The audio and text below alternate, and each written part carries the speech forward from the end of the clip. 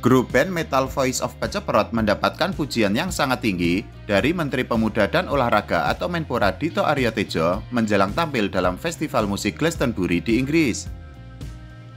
Menpora Dito Aryo Tejo mengaku sangat kagum dengan pencapaian yang sudah didapatkan oleh VUB. Para anggota Voice of Paceprot memang sudah bertemu dengan Menpora Dito Aryo Tejo di kantor Kemenpora pada tanggal 2 Mei 2024 yang lalu. Saat itu, VUB bersilaturahmi sekaligus memperkenalkan diri sebagai tiga musisi metal asal Garut yang akan menggebrak konser musik Glastonbury.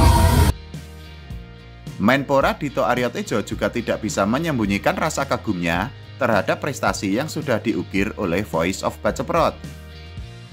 Selain kagum, Menpora Dito Aryo Tejo juga merasa sangat bangga karena VUB sudah bisa menggebrak industri musik Indonesia dan dunia. Di dalam pernyataan resminya, Menpora Dito Aryo Tejo sangat mengapresiasi pencapaian yang sudah didapatkan oleh Voice of Baceprot. Menpora semakin kagum ketika mengetahui bahwa umur para anggota VUB ternyata masih sangat muda. Fakta itu sejalan dengan program Kemenpora untuk memfasilitasi anak-anak muda di Indonesia agar bisa berprestasi di tingkat internasional. Menpora Dito Arya Tejo bahkan menyebut Voice of Baceprot sangat keren karena bisa menembus industri musik metal dunia.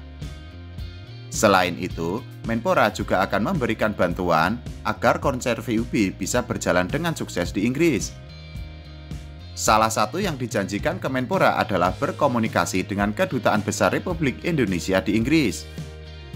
Tujuannya adalah agar konser Voice of Baceprot bisa berjalan dengan lancar selama mereka menggebrak panggung Glastonbury pada tanggal 28 Juni mendatang.